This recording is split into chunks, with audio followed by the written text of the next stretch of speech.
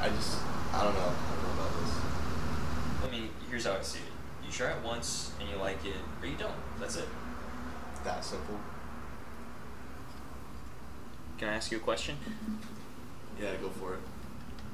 You, uh, you want to go to the store? Why is that? Get you some tampons? Because you're acting like you're on your period, right?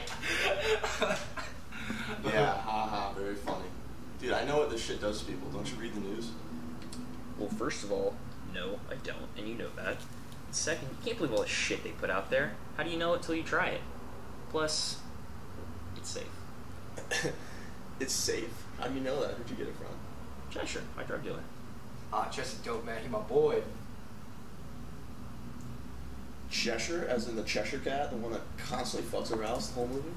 Uh, well, it was a book first, bro, and it would never would have been created without drugs. This is true.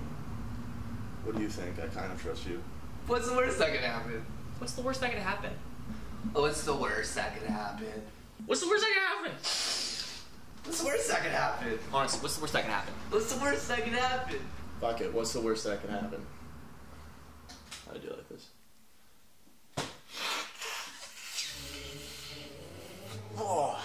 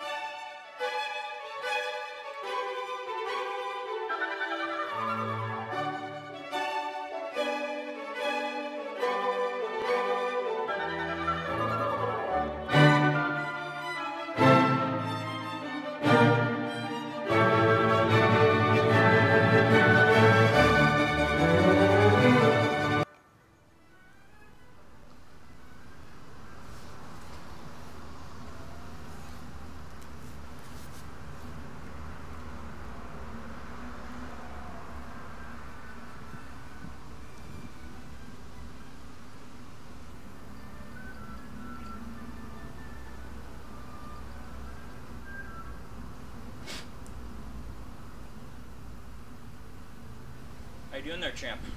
Kinda went off the deep end there.